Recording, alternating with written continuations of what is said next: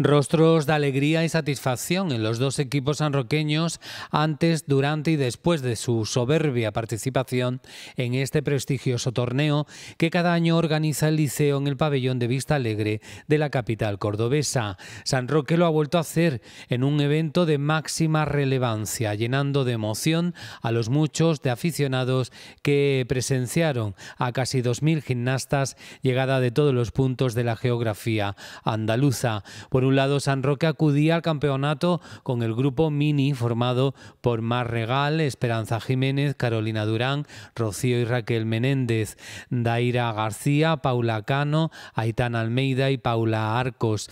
Cabe destacar que son las actuales campeonas de Andalucía 2020. Quedaron subcampeonas en el torneo de Córdoba, donde el Club Deportivo Purpurina fue primero y Gimnasia Rítmica Santa Fe de Granada tercero.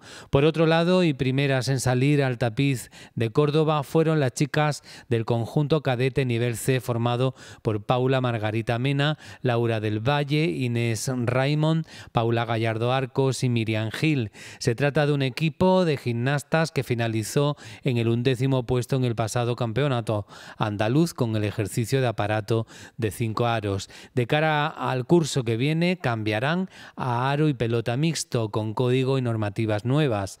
En esta ocasión, el grupo cadete sanroqueño quedó en segundo lugar, con en el Polideportivo Mijas en el primer puesto y rítmico colombino en el tercero.